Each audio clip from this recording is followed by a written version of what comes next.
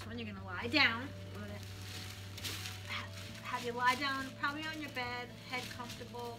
You're gonna pull your knees with using your stomach muscles into your chest, right, as far as you can. Then when you can't go anymore, you're gonna pull with your arms even more to get more stretch, okay? And then you let go. And you do that, if you can work your way up to 30, it's good. Because it's not just a stretch, it's an abdominal exercise to get here and then to provide that stretch with your hands. So 30 of those. The second one, uh, I'm going to have you stand against your bookshelf that you have. Um, or even if you have a table this height where you can sort of sit on it lightly um, or against it, okay? And then what you're going to do, hold your stomach muscles in nice and tight. So you're bracing here. Your knee up nice and strong, okay? So if you're only getting to about here, that tells us that your hip is weak. You gotta be able to get a little bit more, okay? Okay, now you can do the same thing that you did in the previous exercise. You can go as far as you can, and if you can't go anymore, let your arms help a little bit, and then back down slowly. Okay, that's still gonna help you to strengthen your hip muscle. So up as, as far as you can, pull, And then as you let go, try to hold that pull with your legs and then lower it slowly. Okay, let me show you one more time.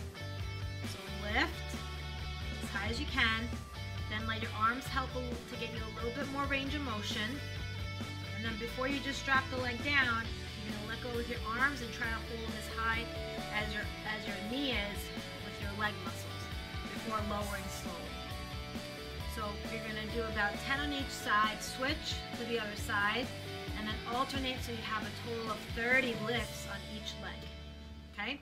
The third exercise, you're to uh, do a staggered stance. So one leg is back, one leg is forward, almost like a lunge position. And all you're going to do, and use something to hold on to just to give yourself a little bit uh, balance or just to keep yourself sturdy. You're just going to straighten up through here and you should feel stretching in the front of the back leg, okay? And maybe even into the thigh a little bit, okay? That stretches the front of the hip. Very important.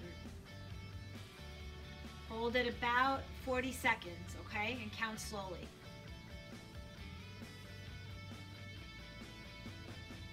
Okay, if you're finding that you're sitting a lot, try to do that stretch every time you get up from sitting.